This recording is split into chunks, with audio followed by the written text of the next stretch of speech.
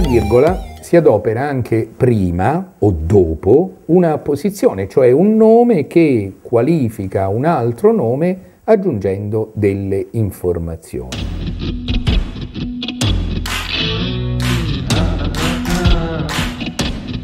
Per esempio, oggi parleremo di Madrid, virgola, la capitale della Spagna, oppure Madrid, virgola, la capitale della Spagna, virgola, è una città bellissima. Ancora, la virgola si usa prima o dopo un'invocazione.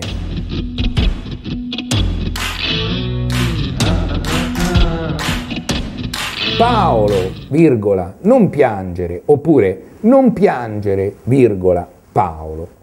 E infine la virgola si adopera per collegare gli incisi, cioè quelle parole, quei gruppi di parole o quelle frasi aggiuntive che possono essere tranquillamente tolte senza che per questo il discorso perda senso.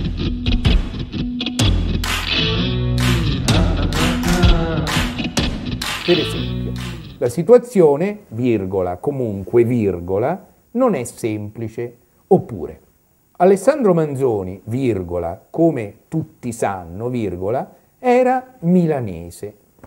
Quel comunque e quel come tutti sanno sono due incisi. Io potrei tranquillamente eliminarli senza far perdere senso al discorso.